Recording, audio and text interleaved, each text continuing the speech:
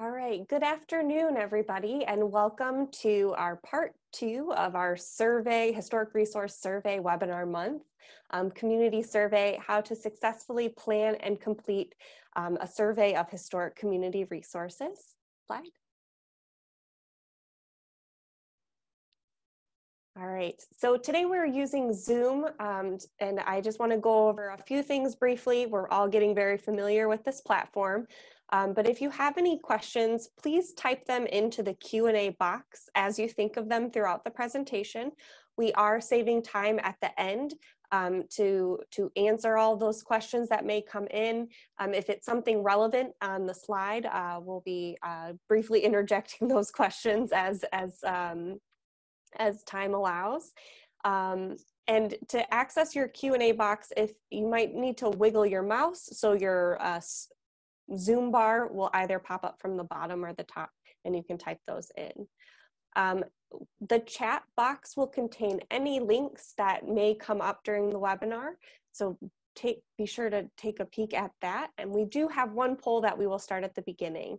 Um, also, this webinar is being recorded and all registrants will receive a link to the recording that, are, that is housed on our YouTube channel. So thank you again for joining us today and I hope you enjoy the webinar slide. All right, so again, today we are here discussing community surveys, um, how to successfully plan and complete a survey of historic community resources. Um, sometimes this is a very daunting task. Uh, you don't know where to start if you're looking at um, several blocks of buildings. There's a lot of properties. How do you organize things? Um, do you use volunteers? Do you use a consultant? There's a lot of things to think about, but if uh, we plan uh, beforehand, we can execute these community resource surveys um, and get that information so we can have uh, good community planning um, regarding our historic resources. So I am going to um, well, slide first. Well, we'll do the poll in a second. I'm, getting ahead of myself a little bit. Uh, so first of all, um, my name is Mallory Bauer, and I have the privilege of serving as the field representative for the Michigan Historic Preservation Network. Um, we are putting on this webinar in conjunction with the Michigan State Historic Preservation Office. Um, but MHPN, my organization, advocates for Michigan's historic places that contribute to our economic vitality, sense of place, and connection to the past. We are a statewide nonprofit, and we cannot do the work that we do without our members and volunteers. Um, if you are a member, thank you so much for your support. If you are interested in joining our mission, um, please go to www.mhpn.org today to become a member slide. Uh, additionally, these webinar series that we have been doing since April are supported through um, the Michigan Council for Arts and Cultural Affairs. So we want to thank them for their support in bringing, helping us bring this information to you. All right, and we will pause now for our poll um, before I introduce um, our presenter today. And it's just one question, and this will help us um, reserve time later on in the presentation. Um, so we're mostly looking at, is your community looking to conduct a survey using a consultant or using a volunteer effort? Um, so I'll make sure after you click your selection that you hit submit, otherwise it doesn't come through.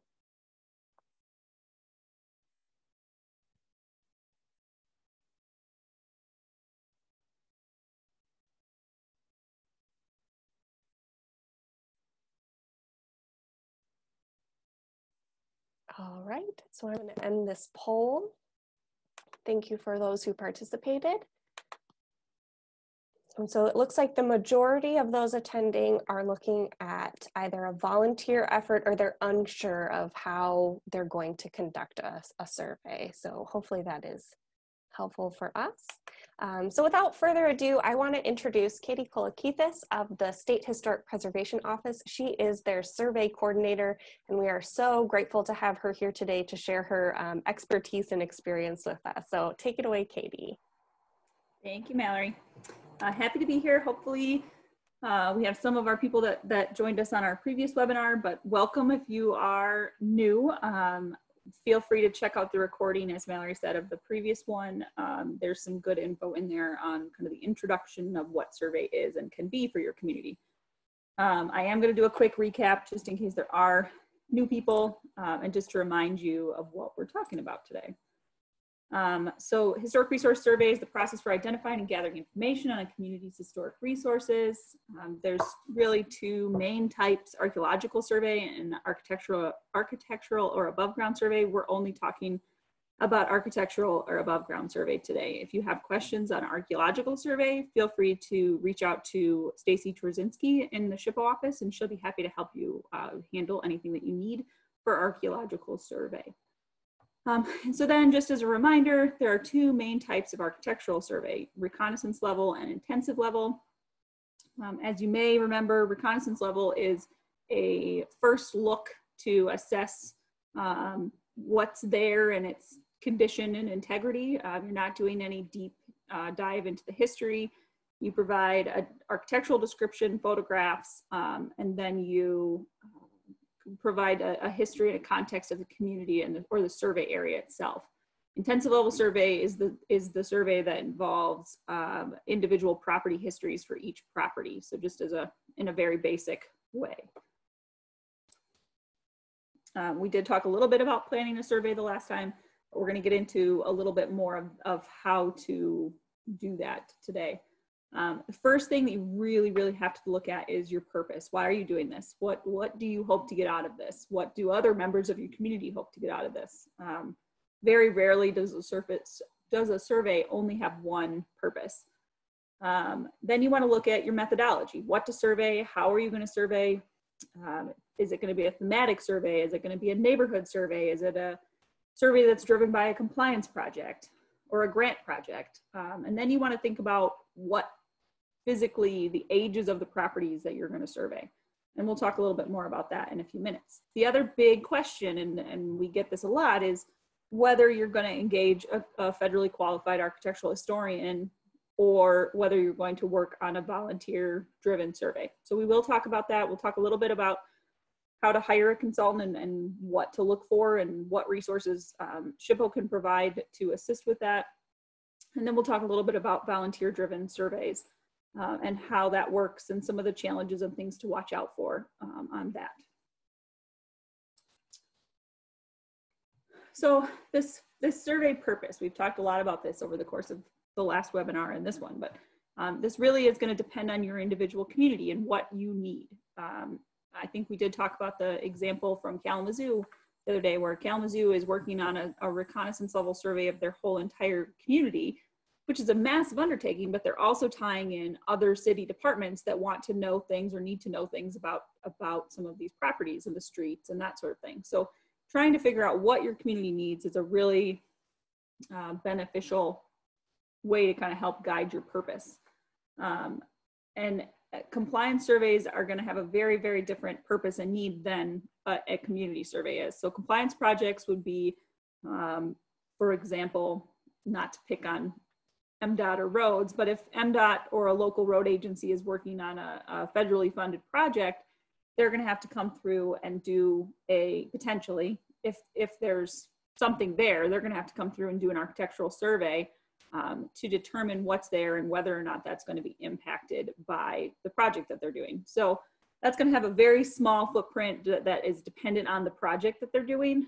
Um, whereas a community survey could be a neighborhood, could be um, just a street, it could be a couple of houses, or it could be the entire community, like the like the uh, example I gave a minute ago. So it really is going to depend on all of those factors. So a few things that you're going to want to establish for your methodology. You're going to want to set out your goals and priorities. You're going to look at your survey area.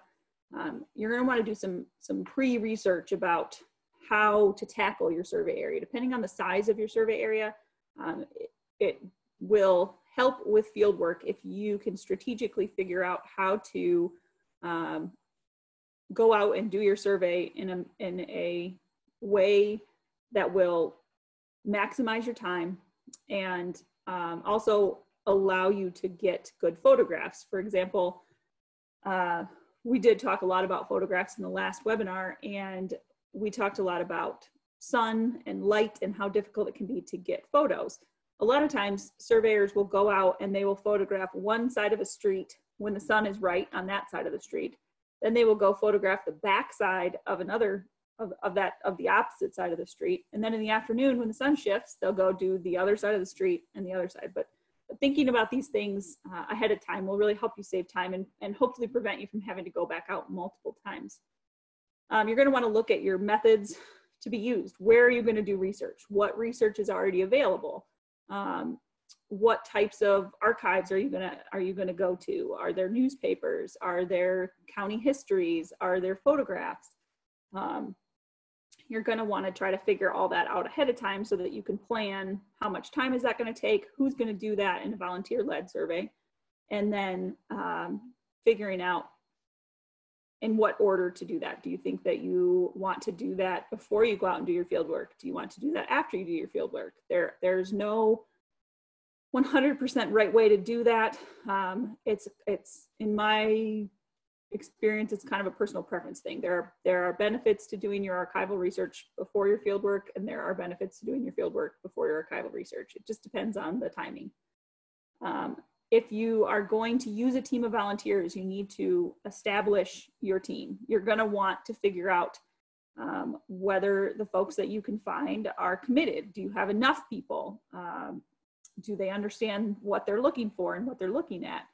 So you're going to have to, to establish your, your team of volunteers. And then you're going to want to figure out what kind of documentation you're going to be producing out of this. Are you going to be doing an intensive level survey? Are you going to be doing a reconnaissance level survey? Um, and then are you sending that to SHPO? Are you doing this for, for example, a local historic district survey um, ahead of a study committee report? Those we are, as Amy mentioned, Amy Arnold from my office mentioned in the previous webinar, we are asking that the survey itself get submitted um, to our office for review uh, for local district reports.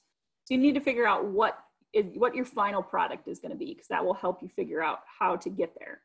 Um, you also need to look at your time frame. Uh, we did talk a little bit about timing last time in terms of photographs because you know the middle of a blizzard is not the right time to take a photograph of a historic property same thing with a rainstorm or the middle of summer when when trees are fully leafed out so you need to pay attention to the timing of that so that you can try to get the best photographs that you can. Because when we're looking at a survey, the only thing that I have to go on is the description in the survey. I can't go out to every property that I look at. Um, so those photographs need to be able to demonstrate to me what's going on with this property. So those are really, really important. Um, you also need to think about how long this potentially will take. On a consultant driven project, you're depending on their capacity, you're likely looking at a shorter time frame than you will on a volunteer-led survey, um, simply because that person is getting paid to do this in a certain time frame. Um, whereas volunteer efforts tend to kind of lag and, and you know, people have waning interest in a project or, or, or time um, to be able to dedicate to it. So you're gonna wanna think about when do we need to have this done and what's our best option for getting that to happen. Um, the other thing to, to think about before you start your project is, is start, you need to start thinking about which historic contexts are going to be investigated. I listed a few here. This is not a uh, comprehensive list. This is just a few. Um, are you going to, are you in a logging area where there's logging camps? Are you on a farm and you're looking at farmsteads and farm outbuildings? Um, like our project in Detroit that we uh, have been working on, we, we have done a civil rights survey in Detroit. Um, it just is going to depend on the, the individual properties that you're looking at and, and the community. So make sure that you understand what you're looking for and what, uh, what you're going to have to be doing research on. The next thing that this is probably the most, uh, the question that we get the most is, do we have money for to help people with surveys? Um, we, in general, do not when the, the grant money that we have available is for what are called certified local governments, CLGs. You'll hear us talk about that a lot. Um, and certified lo local governments are eligible for grants for survey and designation projects as well as physical construction projects. Um, that is uh, that is a national program that, that is administered at, at the state level by Alan Higgins in our office. Um, he did a webinar earlier this summer that I think is also up on the up on MHPN's website, so you can um, check that out if you're interested. There are about 30, I think we're up to 32 communities in Michigan that that have this status, and they can um, they can apply for these grants on an annual basis. They're two-year grant cycles. Um, so we the the call for applications for CLGs for their grant projects for the next fiscal year. I think they're due October 1st. So um, we are talking to communities right now about their their projects, uh, and there are survey projects that are in the mix. Um, it's a good way for these CLGs to get survey work done um, in a timely-ish manner because of the two-year grant cycle. Um, there are grants out there available for other from other entities. Uh, for example, the National Park Service. Um, sometimes the National Trust will fund things. Local um, Michigan-based uh, nonprofits will also occasionally have grants that can be used for survey or designation projects. Uh, for example, the city of Detroit was able to get a National Park Service civil rights grant to do a survey of a um, African American neighborhood. I I, they're, I think they're underway with that project, if I remember from my last update on that one. Um, the other way to do it is to have it privately funded through your community. Um, we have had communities that have used their community foundation or others to be able to fund a consultant driven um, survey. And then the other way is to have the city uh, budget or city or county budget in uh, funding for that survey given all of the craziness that is our current uh, situation with COVID, I, I would guess that municipally funded surveys are probably going to not happen for a couple of years. Um, but hey, maybe I'll be surprised. So if you're going to fund your survey, that means that you're going to hire a consultant. So the consultants that we're looking at are folks that meet the Secretary of the Interior's professional qualification standards for one of these five categories, depending on what you're doing. Realistically, for architectural survey, we're looking for architectural historians. Those are folks that have a history and a background in architecture history, uh, American history, and they understand how to write building descriptions. They understand about architectural styles. Um, they have they have a lot of background in those types of things that are key for architectural surveys. Um, obviously, archaeologists would be used by folks using archaeological survey. Um, historians, oftentimes you will find consultants that are architectural historians and historians, and it just means that they have additional background in American history. Um, historic architects are licensed architects that work on historic buildings. So we often get people that get those, the, the architectural historian and historic architect um, confused historic architects are not generally qualified to work on an architectural survey because they are an arch they are they are an architect. They don't have the background in architecture history um, that an architectural historian will have. Lots of words throwing around in there. And then the final one is a preservation planner. This can be useful as well while you're working on an architectural survey um, because you can use that survey as a planning document and, and have planning recommendations and that sort of thing in there as well. But generally, we're looking for architectural historians. Um, SHPO does have a qualified consultants list, um, and I will, I was gonna try to pull up our website and show you. Let me see if this will work. Hopefully this is working. Um, you should be able to see my screen, hopefully. Mallory, let me know if it's not working. Um, and this is our website, and you can go down. There's a research resources button down here. Researcher and consultant resources. And then there's a whole bunch of stuff for consultants. There's scheduling a research appointment. There's our lists. Uh, there's the historic architect list we talked about. Then there's the architectural historian, archaeologist, and, and historian list. And this is the one that you're going to want to look at. Um, so it's about 16 pages long. I'm due for an update. I have to update it, uh, but, but it'll be in the same place. So you can find it if you need it. So there's where that is. Okay. So in order to select a consultant, there's some work that has to be done before you can get to the point where you get a bid from a consultant. Um, you first need to figure out what your project is. You need to figure out how many buildings, you need to figure out your time frame, you need to figure out what level of survey you're going to be looking at. Um, there's kind of a lot of, of information that you're going to need to collect ahead of time.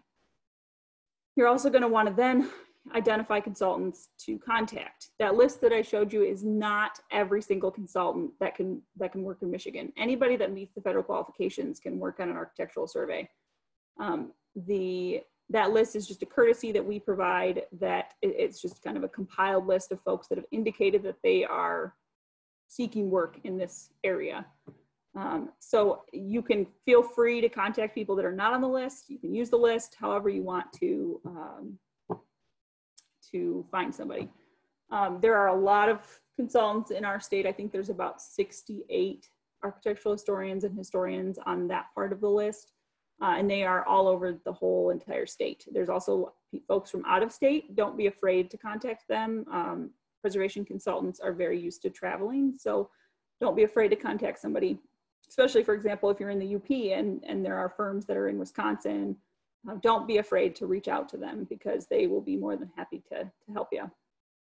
Um, you can use the, the information that you have to request quotes and information on their qualifications um, you're going to get a variety of quotes for every project. Every consultant seems to have, you know, everyone has different overheads, they have different pricing structures. It's just going to depend on the individual firm. Um, this is probably the second most asked question I get is, well, how much is this going to cost me? There's no way for me to tell you that because I don't, number one, I don't know everything about your project. And number two, every consultant is going to be a little bit different. So you really need to go through and request quotes from from several. We recommend asking several different consultants for quotes. Um, and then you need to evaluate and select your consultant. So we'll talk about that in a second. So, and we, we, Alan Higgins, our CLG coordinator that I mentioned earlier, has put together a document about selecting a preservation consultant that will hopefully be on our website pretty soon. Um, but this, we, we kind of all of this is based on his form that he put out. So hopefully that will help communities that um, are looking at hiring someone. You're looking at multiple things. You wanna know, are they competent? Do they meet the professional standards? Do they demonstrate project knowledge and understanding of, of what's, what's needed for this particular project? What's their experience with similar projects?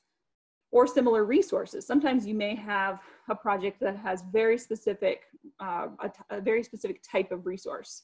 And, and if your consultant isn't familiar with that, then it can really make your project challenging. One example would be uh, if you have a really complex, modern neighborhood that um, has, a, has a variety of architectural styles from the modern movement in them, you wanna make sure that whoever you are gonna hire is is comfortable with modern resources and modern architectural styles because they that can be a, a, bit of a challenge sometimes. There's not a lot of good guidance out there for consultants, so you want to find somebody that's that is familiar with it. Do they have any special skills or expertise that will help your project? Uh, those are all the kinds of questions that you want to look at when you're when you are looking at competence. Um, compatibility. How will the consultant approach the project? Everybody has a little bit different way of approaching projects. Will that work for your community? Um, what's their management style? What's their communication style? Do they like to talk on the phone? Do they email? Do they ignore your emails for six months and then, oh yeah, I've been working on this this whole time? Um, make sure, making sure that your communication style and management style matches up with um, the consultant will be important. Um, what's the plan for keeping you informed of their progress? Are there going to be review periods? Um, establishing all of these kinds of things is very important. Um, and then also knowing how they're, they're going to deal with setbacks or delays or other problems that arise. I can tell you right now that we have, sorry, very loud car outside my house. Um, I can tell you right now that we have, I think, three surveys that are going on right now that have obviously been significantly impacted by COVID um, because two, at least two of them involve oral history or, or working directly with a community uh, group. And obviously that's fairly difficult when you need to socially distance and, and all of the, the things that we do these days to keep ourselves safe. So um, those consultants have all had to kind of roll with the punches and figure out how to get their work done um, but still keeping themselves and, and their, the, the members of the community that they're working with safe. So uh, lots of setbacks uh, and delays the last few months. You also want to look at their performance histories. This is where you can ask for references and you can ask for, um, you want to you want to talk to past clients and figure out if they were satisfied with their work. Did they meet their deadlines? Did they stay in budget? Um, were there communication issues? These are the kinds of questions that you're going to want to ask. And then finally, you're going to want to look at the cost and the timeline. How quickly can the consultant start? What's their staffing? Do they have sufficient staffing for your particular project? Um, have they accounted for all of your, your project activities that, that you've asked for in their schedule? And then does the cost seem reasonable and sufficient to cover what you, what you need?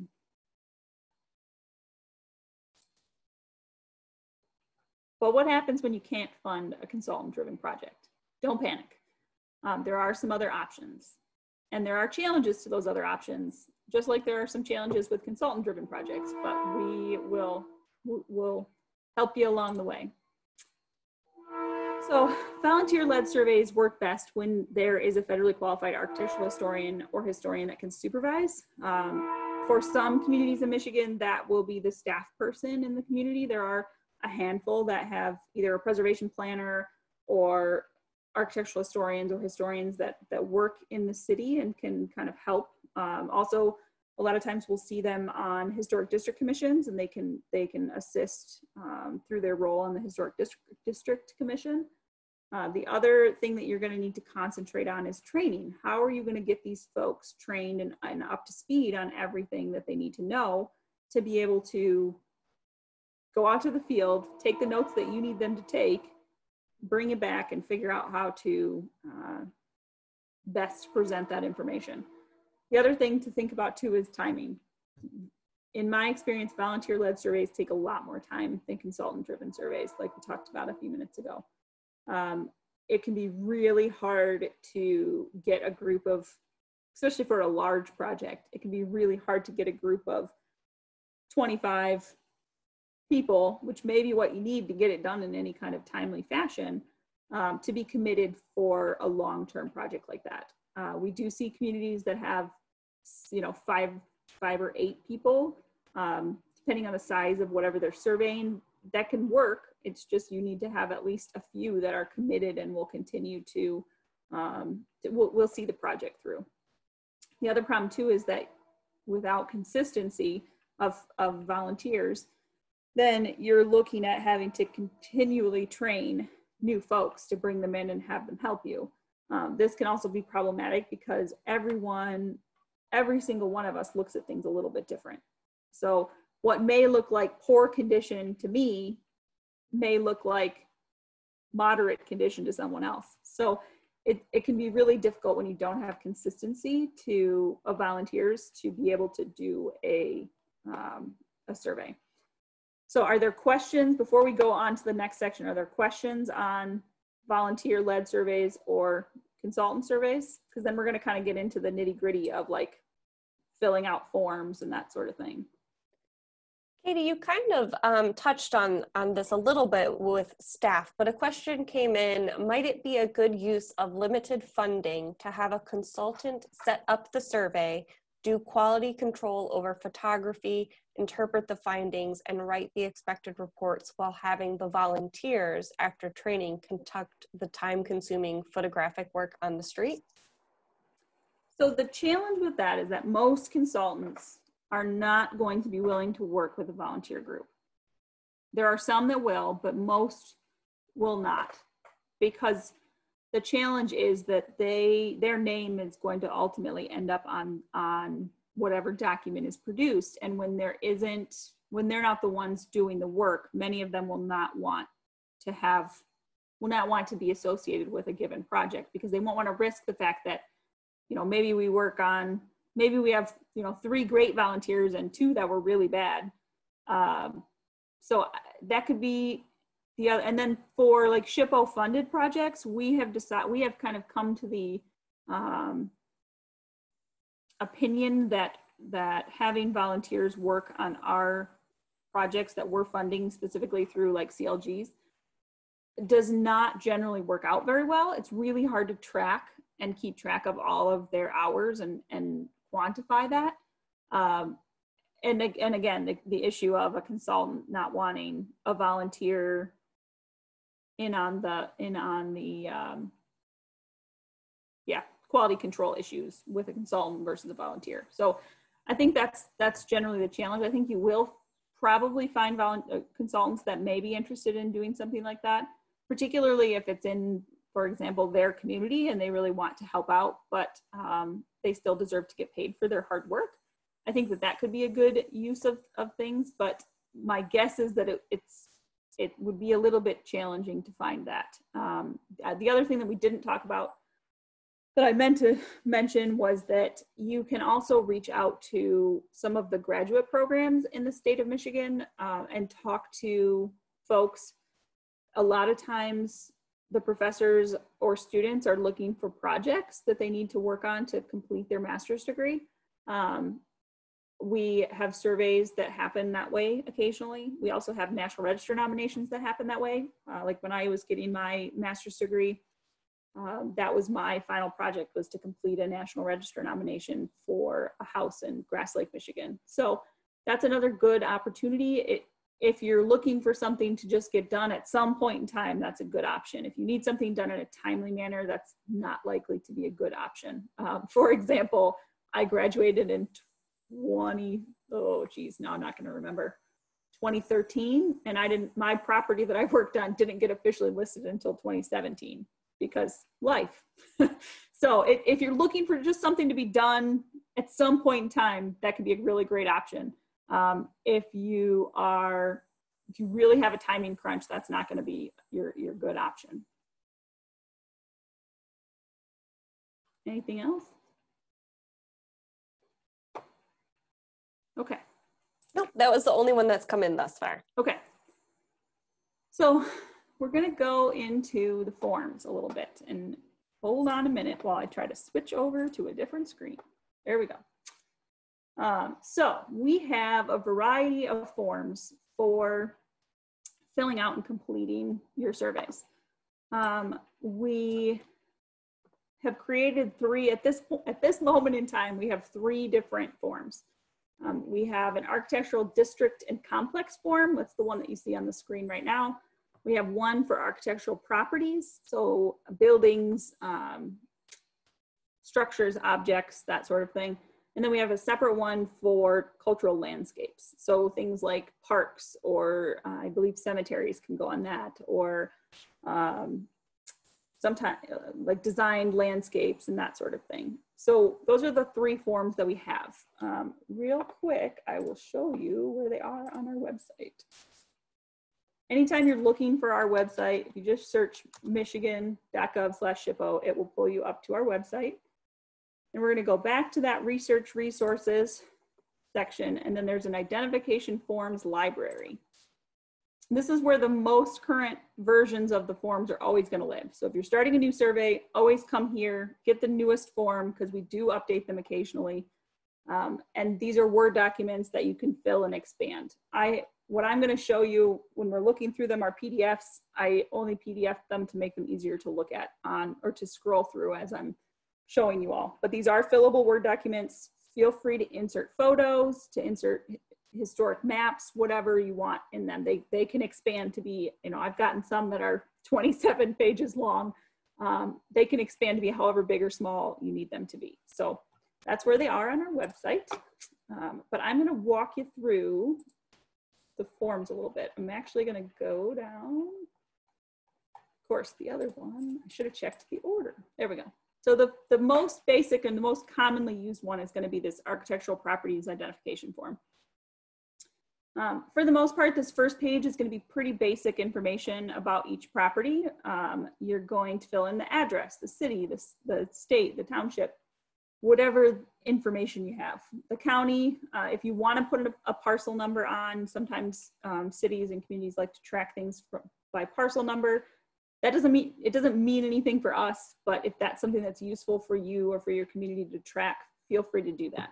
Um, the things that we definitely need, we need a latitude and a longitude. If you need help with that, you can generally um, get some of that online. Um, if you need help with that, go ahead and contact us and we'll help you figure out how to, how to best get that information for us. Um, we also need to know or want to know whether or not this is a privately owned structure. Is it owned by a state or state or federal government? What, who owns it? Um, and then you're going to select what kind of building you have, commercial, residential, other. Um, if you want to write in, you could type in other or what, you know, whatever it is. Um, if this is a structure, an object, you just check those boxes. These are all fairly easy check boxes. Um, you can insert a photograph here. It doesn't have to remain this size. You can resize it if you need to. Um, we just need to be able to see what it is. Um, then you're going to enter in some really basic architectural information like the construction date, style, building form. So that means is it a is it an American four square? Is it an I-shaped house? Is it a gable front? Um, you're just going to look at kind of the shape of the building. Then you're going to look at the roof form.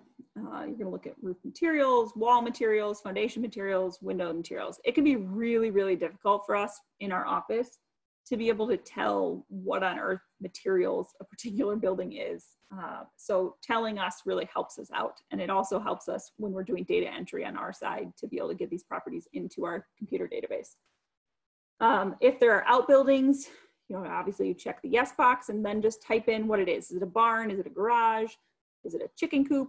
Whatever that may be. Um, and then we're gonna get into the eligibility. And this is where a volunteer-led survey is gonna struggle a little bit because architectural historians know how to assess National Register eligibility. We did talk a little bit about this the last webinar, um, what the different criteria mean. But basically we're looking at, is this property important in, in history to, related to social history, a movement of some kind, uh, important people, significant architecture, or additional, or, or, or, the potential to yield information, which is D.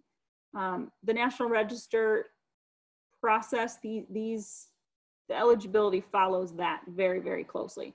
So if you're unsure, looking up those National Register bulletins that we included in the uh, one page form after or one page sheet after the uh, previous webinar will really help you because those bulletins will walk you through what all of this means. So what the criteria considerations are, what the um, areas of significance are, what the periods of significance, what all of that is. This, this will very much walk you through that. Um, you're gonna wanna select, if you believe the property is eligible under one of these criterion, then you are gonna select that box uh, if it's part of a district, you type the district name here um, you, and you select that it's contributing or non-contributing to a district. Um, there's an integrity assessment. Again, we talked about that. Oh, sorry, my cat's falling off the window. um, there are integrity assessments, um, historic name, common name. If you know the original owner or historic owner, like a long time owner, that can be added here um, the historic building use, current building use. If you, if you don't know any of these things, it's okay to write unknown. Um, and then you're gonna wanna write who surveyed it, when, if we've given you a report number, that can go here. Otherwise, we'll write it in after we process the report um, in our office. And then this box is for us. So then the second page of this form is the one that can expand.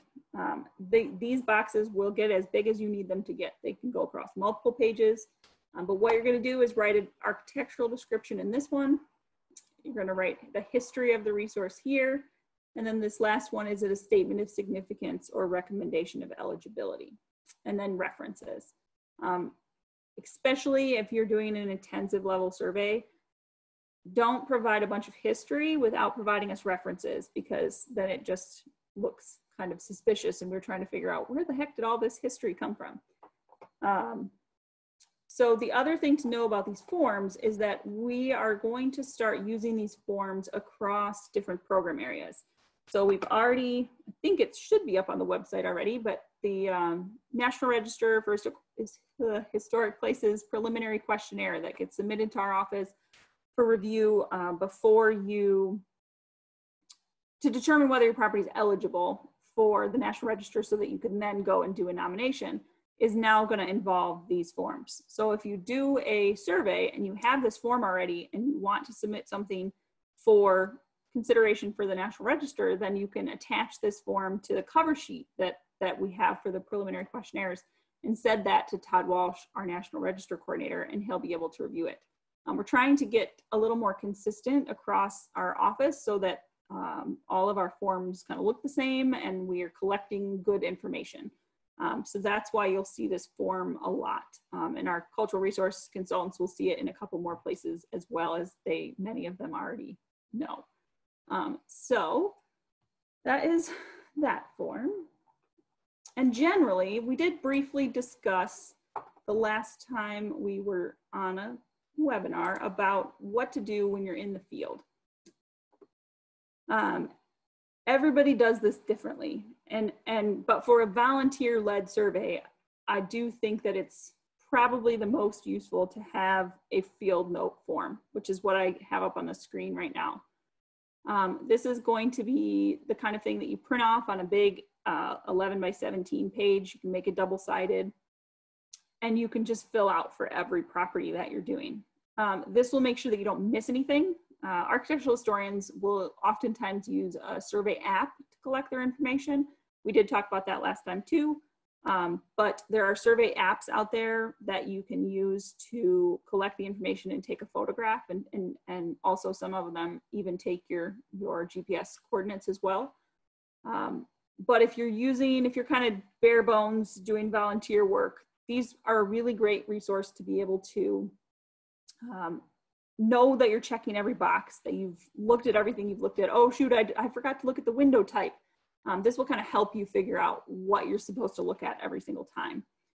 Um, it can get a little unwieldy when you've got a large area that you're surveying and you may end up with a lot of these, um, but and there, there is the potential that, that this could be filled in on a tablet or something like that as well, because um, this is also a Word document that can be typed into. So um, we do, at this moment in time, these are not on the website. Um, they will be, we just have not gotten them up there yet. So if you need one of these and you want me to send it to you in email, feel free to reach out and I'll be happy to send it to you until we get it up on the website. Um, Katie, would you yeah. be would you be open to having us send a copy to everyone who registered for the webinar? For sure. Yeah, for sure we can do that.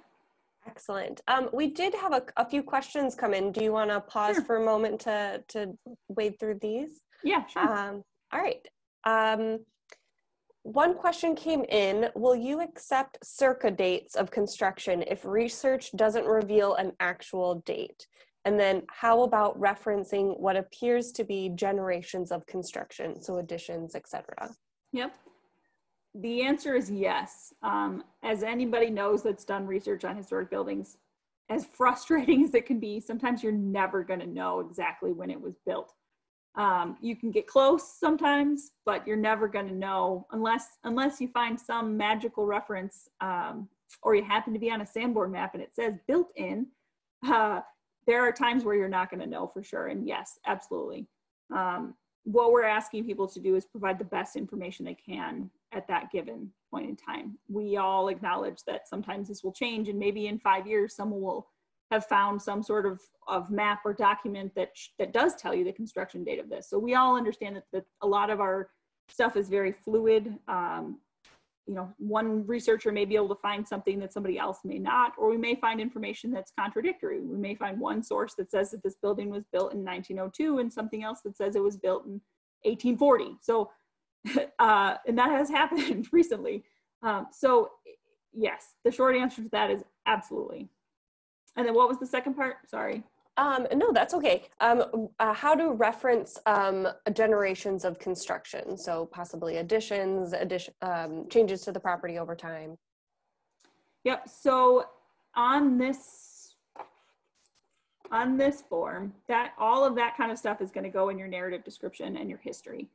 So if you know that the um, that the construction date was, you know, circa 1920. Oops, I'm on the wrong one.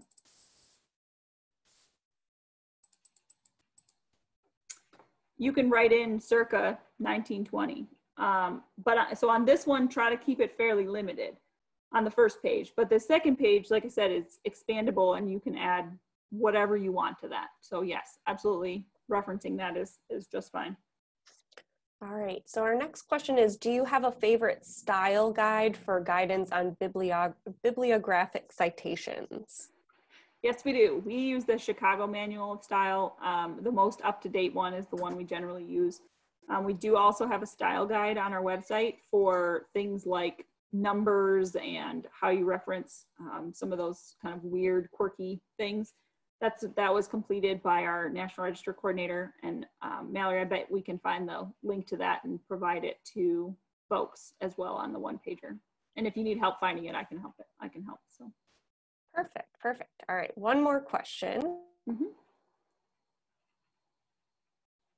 Okay, if we feel a house would be eligible for the historic district we are trying to form, but we don't have a historic district yet, is a house eligible? And then we are using over 50 years old as a guideline. So I feel like we might need some more information about Yeah, we well, we can kind of go over the basics of that. So the 50 year guideline is a guideline, first of all. Um, there are things that are eligible and listed on the National Register that are younger than 50 years old. Um, so that's a guideline. If if it is younger than 50 years old, it has to meet a criteria consideration to to have some exceptional significance to make up for the fact that it's not 50 years old yet. So the 50 year is a good kind of starting point, um, but don't don't completely write something off because it's not 50 years old yet, um, just because of that. So make sure that that that that's that it makes sense and there's not some exceptional significance about this particular building. Um, in terms of eligibility, technically, um, SHPO staff and, and ultimately the keeper of the National Register is kind of the official eligible, eligible um, the keeper of the eligibility determinations, I guess you could say. So generally what happens for a survey is that they are whoever's conducting the survey is providing recommendations of eligibility. So they are they are saying that we believe, based on what we know, we believe that this property is or this district is eligible. Um, so then that comes into our office, and depending on what it's for, myself or one of our other one of our other staff members reviews it, and then we either agree or disagree with your eligibility recommendation. Um, sometimes we will say that we don't have enough information to make an eligibility recommendation, and that's okay. Um, depending on the project, sometimes that means you do have to go back out and do more research and provide us more information, but sometimes it just stays as more information. Um, so, so in terms of historic districts, if a historic district has previously been determined eligible, um, the properties in the district are referred to as contributing and non-contributing.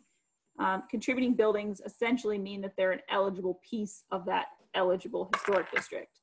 So I guess hopefully I'm answering that question right. Um, I don't. Yeah, if the um, if the individual who asked that question want, has any other follow up, please feel free to type that in and we'll address that at the end. Um, one more question came in that I think is helpful as we look at the um, form. Yep. Uh, what is the difference between architectural style and building form? So architectural style is the design of the building, like the, uh, I'm trying to think of a way to describe this for non architectural historians. So the building form, like I said, is mostly about the shape of it.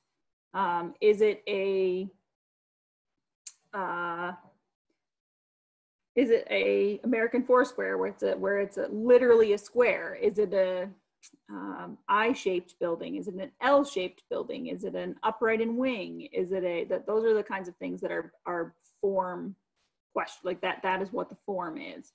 Um, the architectural style is a little tricky because a lot of not every build number one not every building has a style. Um, sometimes they have a form or they they are a more vernacular building which means that they were not designed by an architect. Um, architectural styles generally are high style uh, designed by an architect. So things like italianate houses and um, greek revival and some of these other like really really distinctive styles of, of these houses. So it's it's about the decorations and the the, the forms of the roof and the, the windows and that sort of thing. Um, there's a lot of good guidance out there about how to how to describe styles. Um, it it can one of the ones that I think is the most user friendly for the non professional is the Field Guide to American. I actually have it on my desk right now because we use it a lot. Um, is the Field Guide to American. Is it going to show up with my funky background? Um, this is the, let's see, what year is this one? This is the most recent one. I think it's 2017. Um, but it's written by Virginia McAlester. And it covers a huge variety of, of residential architecture. So that can be really helpful. And there's lots of photos and uh, drawings and that sort of thing. And it talks, it does talk about the differences between the forms and the, and the common forms of different architectural styles. So for the building form, you're going to be looking primarily at the, the physical shape of the structure. And then for architectural style, you're going to be looking at that plus all of the other fluff on the outside of the building, if that, if that uh, makes sense. Yeah, I think so. Um, and any follow-up questions, feel free to type those in. But um, that's all the questions we have right now, Katie, so I'll let you continue. Okay. Um, I'm gonna go over the other forms real quick. So the way that the forms are designed, that architectural properties form that we looked at first, is for individual buildings, structures, or objects. If you are in a historic district or you're surveying a historic district, the idea is that you will first fill out an architectural district or complex form, which is the one that we're looking at right now. Um, and then you will fill out one of the uh, individual uh, architectural properties forms for each building. So this form is pretty much going to have the district name, um, a current or common name if it's different than what the, the historic district name should be. Um, we're going to want boundaries from like what streets bound, if that's possible. Sometimes in rural areas, there's no streets. And so just kind of a verbal description of what the boundaries are um, where it's at, city, state, zip code, county, that sort of thing. Um, we are going to want the acreage of however big that particular district is. And then again, on the ownership, um, same thing on the type as the last one. This form can be used by um, for um, agricultural complexes, so like a farm complex with a house and a barn and a and multiple um, agricultural related outbuildings. Again, the intention would be that you fill out this for the whole complex and then you fill out an individual form for each building on the, on the property. Um, so then you're gonna to want to talk about the number of resources, how many of those are contributing or non-contributing, any significant dates, like if you have dates of construction, if you have, um, you know, a, large something large or major happened with the district or, or say a farm at any, eh, say in 1920, they changed from, you know, agriculture or uh, crop farming to livestock or something. We want significant dates. Um, for complexes, you're in, in this case, you would just provide a list of the different resources. So it would be a corn crib and a, um, you know, bank barn and some of the different features of that complex. And then we're gonna want a map or an aerial, aerial photo. And again, you can increase the size of this if that makes it easier. Uh, but we do want the boundaries shown on that. Um, and then we go back to that eligibility thing, same sort of thing um, as before. And then you're gonna do a description, a history, and the statement of significance. It's the same format as the last form. Um, again, these expand. For a historic district, you are going to fill out this inventory. So you're going to put the street address, city, township, county, year built, contributing, yes or no. Um, so if you have a farm complex, you won't do this last page. You'll add up, you'll add your uh, things back on that first page. But this, this particular, the third page of this is specifically for historic districts. Um, so are there any questions on that form?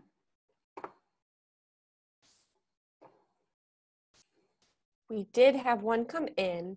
If the district is residential with carriage house or other outbuildings, should the complex form be used for each resource? No, in that case, depending on like for in some of our like Michigan has some really really fancy uh, carriage houses in some of our historic districts. Um, you know, uh, Heritage Hill in Grand Rapids comes to mind, or some of the other, like in my hometown, um, there's some really, really fancy uh, carriage houses that potentially would be eligible um, or, or, or a contributing resource in the district. So in that case, you would fill out an architectural properties form for the house and, and on that form, you would add that there's a uh, outbuilding and then and then it's kind of up to you. If, if it's a really, generally you would only put a description of that outbuilding in your type in boxes. You would not necessarily fill out an individual form for that. Um, if you're in a situation where you you think, hey, these are something. These are not just a standard, you know, your standard garage that was added to the property, you know, simply for the the cars. These are really something. Then call us and talk to us. Let me know what you what you're dealing with, how many you've got. You know, we certainly don't want to be unreasonable, but if it makes sense to fill out one of these for that, um, then then it may make sense in certain situations. But generally, no, you're going to fill out this and just add add a garage as an outbuilding. Okay, excellent. Thank you. Um, while you were answering that one, we had another one come in. Okay. Um, while it will vary per property, how long would you estimate it to take to complete a basic form for a typical property in a residential district. If we're looking at doing something via volunteer effort, it'd be important to have an idea of what commitment we're asking people to make. So that's going to be a little bit of a challenging question to ask because it's going to depend on a lot of factors. Um, the first factor that it's going to depend on is what level of survey you're doing. If you're doing a recon survey uh, where you're just going out and assessing what's physically there, um, it would probably be pretty quick uh, an hour or two maybe to go out take your photos come back fill out the form um, if you're doing a intensive level survey where there is research involved in the individual property then you're looking at a significantly higher amount of labor time because each individual property has to be researched. So say for example you have 25 buildings in your district and you have five volunteers. Okay so give each of them um, their set number of properties and it may take them you know everybody works at a different pace. And then and then the other challenge is that everything's available in different um, some communities historic resources are very accessible. Some you really have to dig for. You have to dig through you know decades of newspapers to try to find one reference to something. Um, so it really, it's, it's hard to know. Um, I'm happy to talk through specifics um, one-on-one with anybody that wants to, because depending on where you're at, it may, and, and what you're looking at, what's already been done there, it may, um, that we may be able to give you a better, more specific idea. But there's kind of a lot of factors to be able to really tell you um, anything definitive. Generally, uh, going out in the field, you know, you should be able to spend five or 10 minutes per property out there, taking your photos, taking your notes, and then move on. But for somebody that's, that's not familiar with this, it can take a lot longer. Sure, sure. So um, just to clarify, when you say a, a one to two hours, you're saying one to two hours to do like a block and about five to 10 minutes for a. Um... I just mean like one, that would be to do your field, like on one property to do your field work, come back, fill out the form, get your photos in, do all of the all of the things that you need to do for one property.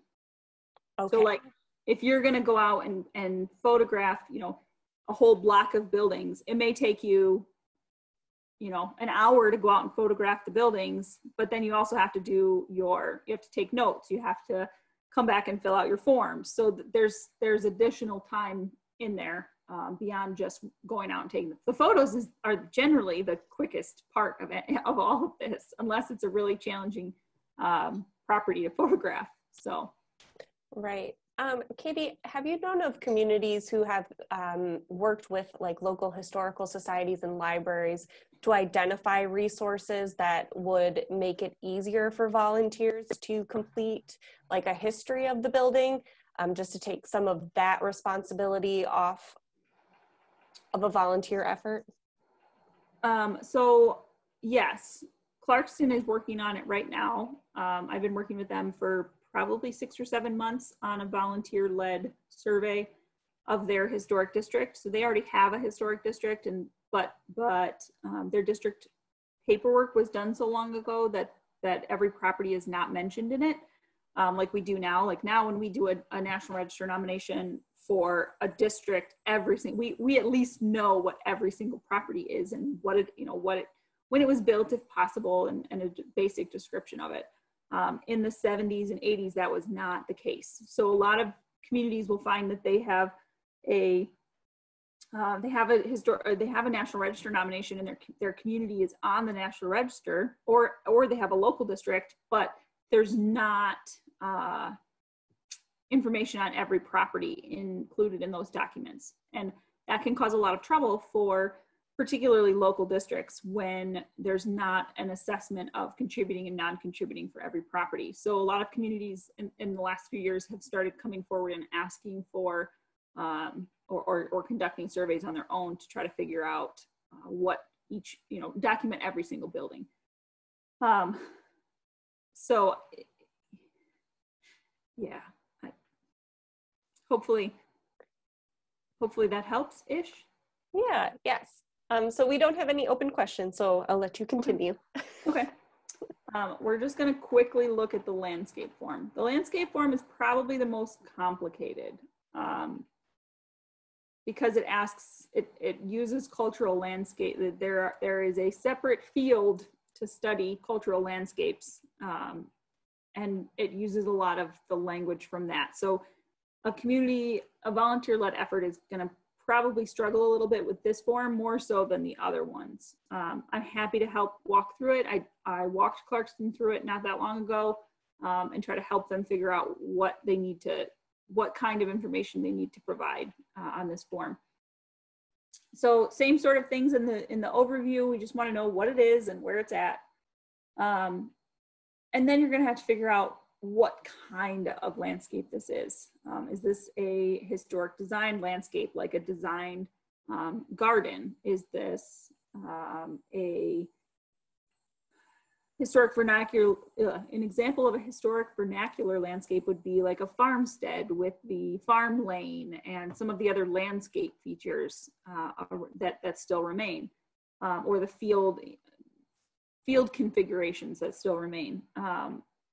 So the, there, there are very specific definitions, again, in some of the National Park Service uh, bulletins that can be really helpful for people to um, read if they have something that is going to require them to use the cultural landscape form. Um, here's some examples of some types. There are going to be other things that fit into this category, but we tried to, to get the majority of them um, onto here. Same kind of thing on this as the previous ones. We're looking at eligibility. Um, it got split between two pages, so it's a little funky looking. Um, and then we're going to want to look at everything. We want to look at the topography, the vegetation, bodies of water, um, the geology of the area, the ecology of the area, the climate, because those all play into whatever landscape we have. Um, how do people use this property? For example, if it's a if it's a park, are there um, picnic tables, or eh, you know, is this a is this a park with docks where people can fish and those kinds of things? Um, it's really going to depend on what the individual property is. But how are how is vegetation planted? Is are there you know pathways that have planted veg vegetation on either side of them? Um, are there fences that that bound this property in? Um, spatial organization how do people move through the park? Or you know is there one entrance where somebody you know that's where everyone comes in and then they move through this park in one particular way?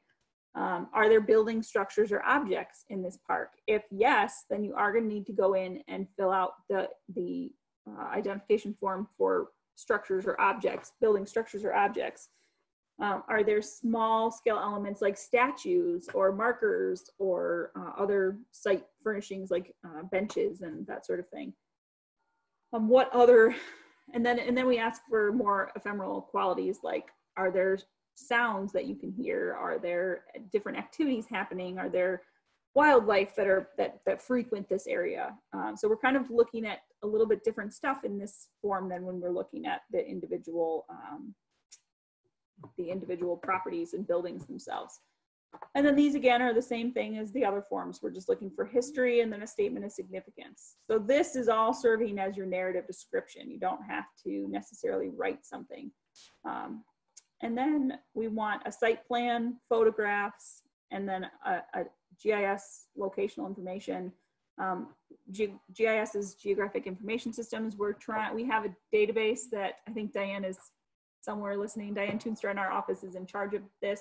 Um, we're working on um, populating that and making sure that we can get whatever we can into it. So if you can provide us information, um, we can put it into our database and, and that helps us get better information to give out to people. So those are kind of the forms. Um, we're gonna go back to this quickly. I think there's a couple more questions I saw pop up too. Yes. Do you want to address them now or wait until the end? Um, I can, we can do them now. Um, backtrack billing form. Yes, that's absolutely, those are forms. So that's absolutely okay to write that, to write rectangular or square, um, it, depending on whatever the situation. You can also write irregular if it's an irregular footprint. Um, so. So Katie, just in case other people, um, the question was regarding building form, if the building is symmetrical pertaining to a certain shape, is it okay to write down rectangular or square form? And as Katie said, yes. Um, and then the next one is uh, your personal opinion, Katie, as the survey coordinator. If you had your wish, how often should be how often should we be resurveying? Considering that a survey done 10 years ago might well have found mid-century modern buildings to be non-contributing, a survey done today would be quite different considering the 50-year rule. Um, yeah, so we generally recommend that people survey things that are 40 years and older in their survey area. Um, that gives your survey some longevity. It, it, it, won't be out of date for 10 years. Um, you know, in an ideal world with unlimited budgets, everyone would survey every 10 years or every five years um, or every year, depend, you know, because then property building conditions are going to change every single day um, or and every year. So in an ideal world with unlimited budgets, it would be great to be able to get out there every single year and, and really see how these properties change that's probably not realistic. Um, but the 40 surveying things that are 40 years old and older will really help your survey have some longevity. So that's our general recommendation. Interesting. That's a good recommendation. All right. Thank you.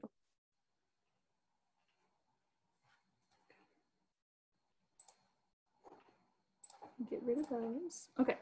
So in terms of your report format, um, I'll try to go quick through this because it's kind of dry and boring, but um, you're basically gonna want to come up with a report. Form. There, there, there is no perfect report format out there. We have a suggested format in our um, survey manual. It's gonna get edited and changed and, and hopefully if I can get to it in the next few months. Um, but base, we want the basic information that you're collecting. So we want, why are you doing this? What did you do? How did you do it? Um, limitations on your survey? Like was were you limited to you know you had three months to do it and it was in the middle of winter and you were limited in that you couldn't get photos without snow in them or those kinds of things? Um, we also want to know about what you found. What were the um, what were the eligibility recommendations for a given area?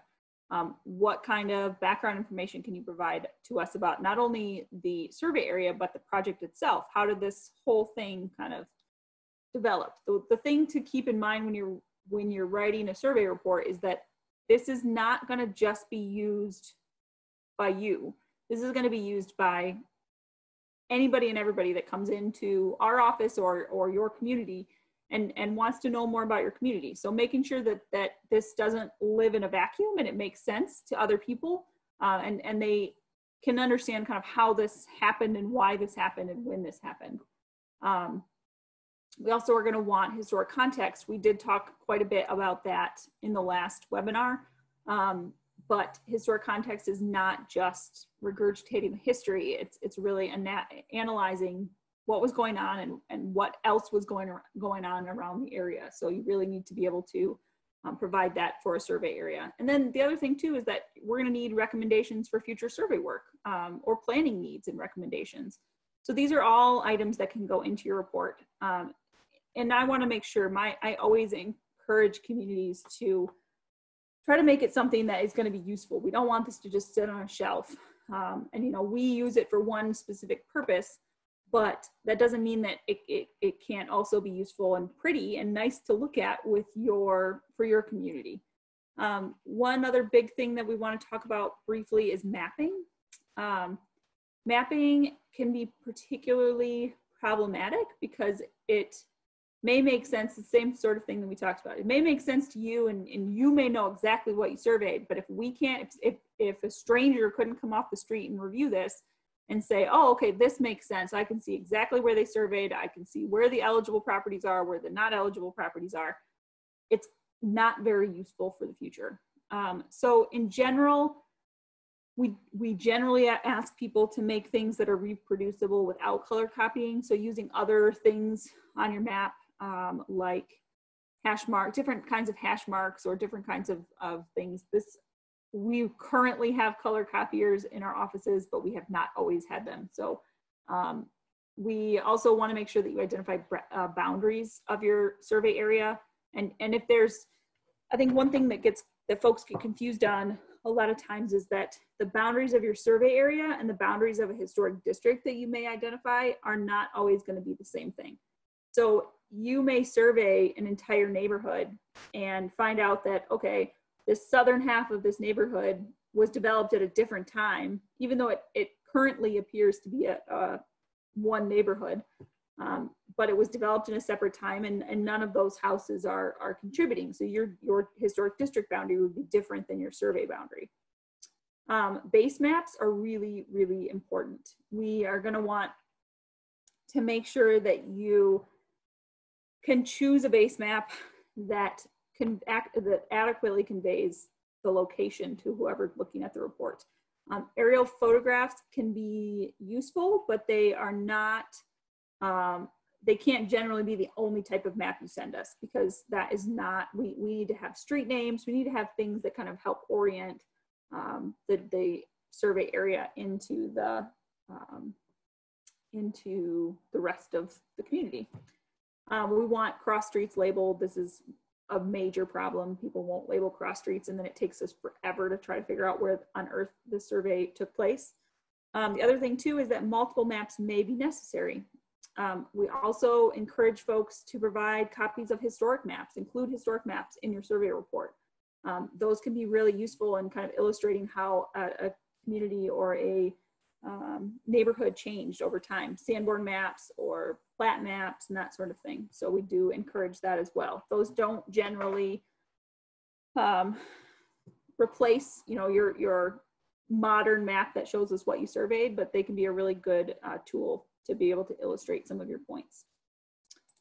Um, and then, so for complex or multi-phase, some communities choose to phase their projects. So they'll survey, you know, one, the northeast quadrant of their city, and then the next year they'll do the northwest quadrant. Um, if you're gonna do that and you wanna look at that, be sure to talk to myself and Diane Tuinstra, who's our historic inventory and records coordinator, to try to create a plan for the mapping. We have found that our multi-phase survey report mapping is incredibly lacking and it makes it really, really challenging to try to make sense of, of all of these reports once we get them. Um, so make sure if you have, if you want to phase your project, there's nothing wrong with it. Just make sure you talk to us ahead of time and we can help you get a plan for how to, how to adequately map that. Um, we are almost done. Other notes, um, like I said, please incorporate photos and maps. There's nothing worse than getting a survey report that doesn't have a single photo or single map throughout the report. Um, they really do help them help make them more interesting. It helps to illustrate your points. Um, you don't, you know, then have to flip through to the back page and try to find the whatever map they're talking about when they're when they're discussing something in a report. Um, make them user friendly for your community. Make it something that your community can actually use and that property owners could say, hey, look, this is the information I have on my property. Um, and then the other thing too is that don't forget that you, there's nothing that says that you can't incorporate information that will be useful for your specific project and your specific community. Um, like we talked about on the forms, the parcel number doesn't mean anything to us, but if that's gonna make it easier to track in your, for your municipality, feel free to add it. Go ahead. It's not gonna, it, it doesn't bother us. Um, you know, information about street condition or sidewalk condition or trees or any of that kind of stuff that it doesn't bother us for that to be in there. And, and if it's more useful for your community that's what we, we want this to be useful. So um, i think that's all i've got about reports. I think i saw a couple questions maybe?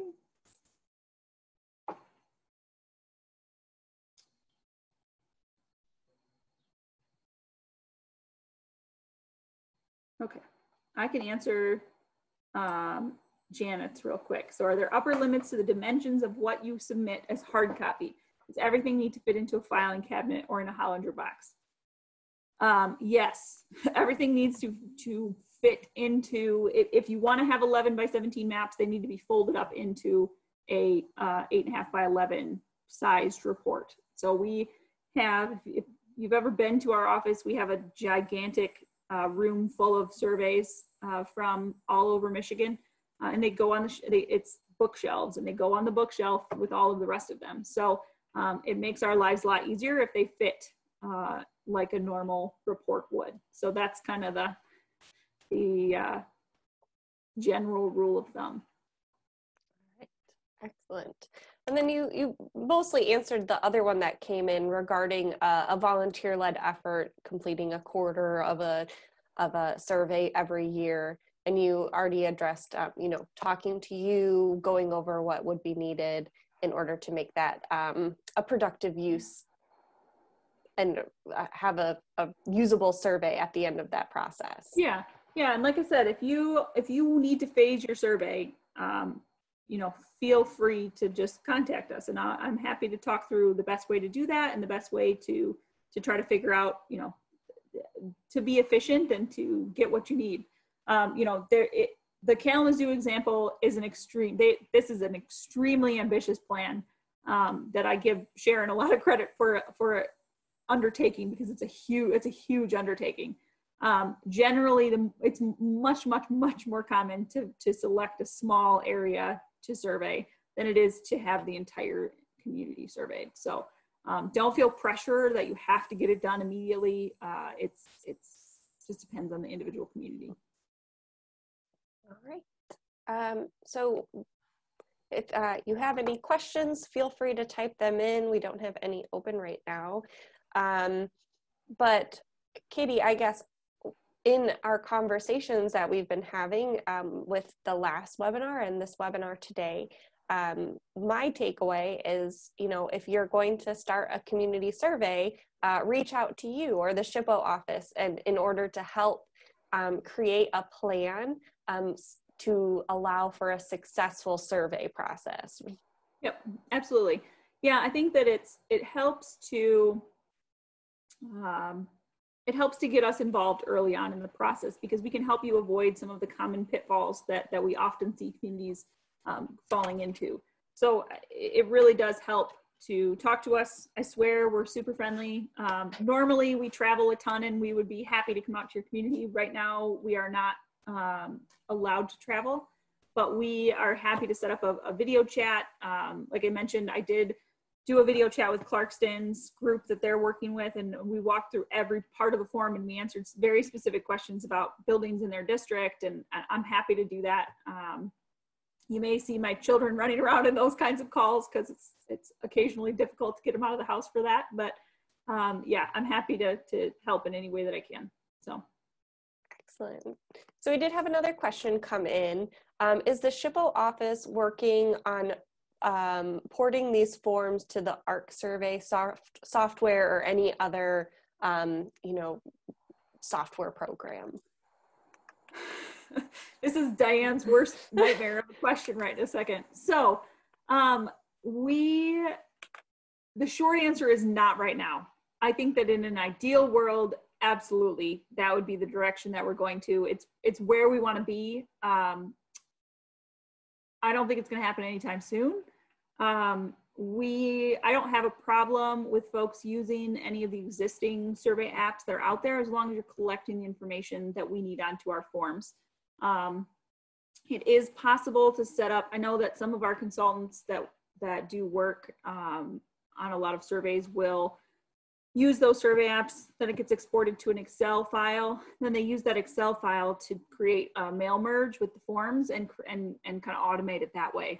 Um, so that's one kind of time saving method, and and I am reasonably competent at at walking people through the mail merge process. If you need help, it's not terribly difficult, but um, so I, I that's one way to kind of automate the process right now, and we are hoping that we can get there at some point uh, it's just my guess is it's not going to happen anytime soon.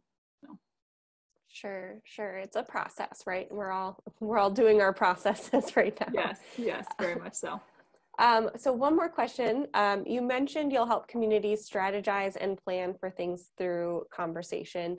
Um, do you also do hands-on training for survey, i.e. how to photograph a building, um, and I will quickly say MHPN does offer a training for how to research your old property.